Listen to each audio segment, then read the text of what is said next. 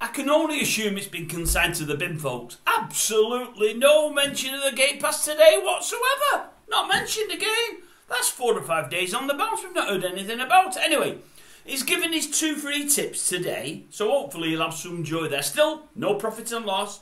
Comments closed, no profit and loss. No problem with the comments made, but want to see a profit and loss. As I say, he's given his two free tips. Now, there was a winner yesterday. Out of them three or four horses that you paid for, there was a winner. Oh, yes. Now, in the thumbnail, he never put that you would have won ultimately because he was advising, I think he was advising a Trixie again. So I would imagine you've done your conkers pretty heavily. He just mentioned right at the end of today's message, oh, and we had a winner yesterday, and we was unlucky with another that ran in second. I think you were even more unlucky because another one of them come nowhere. And as I say, I think you mentioned a Trixie. I'm pretty sure you did. I think he said the Trixie would was it nine to one or was it double nine to one?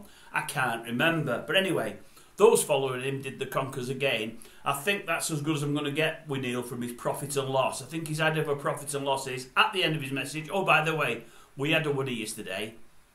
He doesn't go on about it anymore for that because ultimately you've not won. Had it have been a winner at say 20 to 1 and you won a few quid, I think in the thumbnail it would have mentioned it.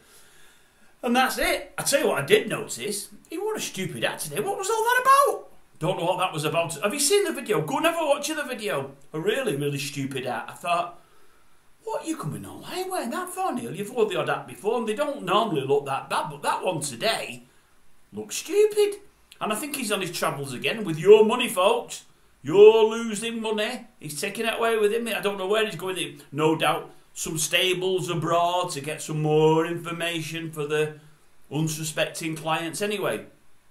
Thought his message was okay, but I was distracted by the at. As I say, why you would come on a website, on the old YouTube for everyone to see with the silly at on is beyond me. But everyone to their own, I suppose. Anyway, I do hope you're all well, folks. I really do.